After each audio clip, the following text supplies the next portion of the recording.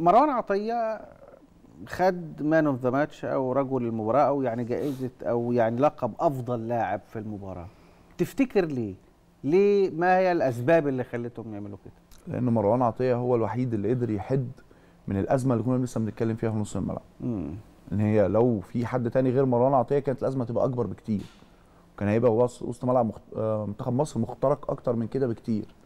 إن مروان هو اللعيب الوحيد حاليا في الموجودين اللي بيقدر يسد الفراغات خلف زمايله وعنده ميزة عن لعيبة الست اللعيبة اللي بتلعب في المركز الست قبل كده مع المنتخب مصر ومع الأندية إن مروان عطية هو اللعيب اللعيب رقم ستة اللي قادر إن هو يقطع الكرة من الخصم ويبدأ بيها هجمة.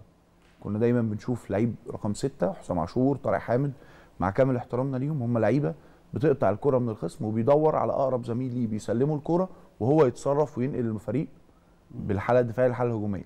مروان عطية هو اللي بيقدر يعمل ده. مجهوده البدني كان كبير جدا قدم مجهود بدني كبير جدا امبارح غطى على تقدم إمام عاشور وغطى على تقدم قفشة وضغطهم في الحالة الهجومية وأدى أدواره الدفاعية. فده الشغل الطبيعي بتاع مروان عطية ويمكن ده اللي خلاه حتى ظاهر أكتر يعني.